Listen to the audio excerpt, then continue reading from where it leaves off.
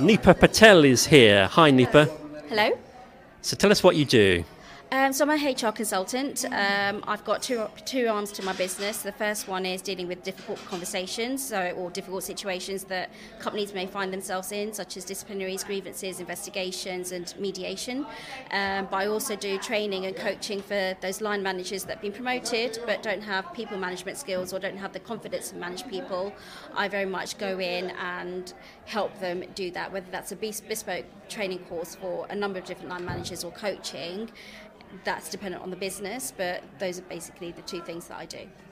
There must be a few stories you can tell, maybe generalised stories and no details, uh, sacking someone or someone's awful, going out for a cigarette break every half an hour or something.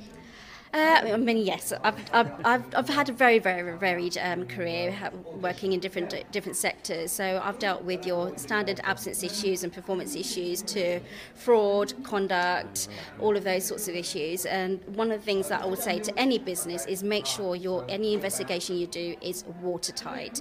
If you don't do it, and there isn't any independence, you could get yourself in a lot of legal trouble, meaning that you could easily constructively dismiss someone or dismiss someone unfairly because of the process that you followed. So make sure there's independence. Someone like me that can do it for you, yeah. who doesn't know the business, doesn't know the people, and can come in and do a very, very detailed investigation. That will put you in the best place possible when you come to litigation, should you get there. Mm. And website or contact details? Um, website is coming soon, um, but my contact details are nipa.patel at npesolutions.co.uk. Um, and I am also on LinkedIn, so you'll find me there. Um, I've also got a Facebook page. But yep, if you need me, give me a shout. Thank you very much, Nipa. Thank you.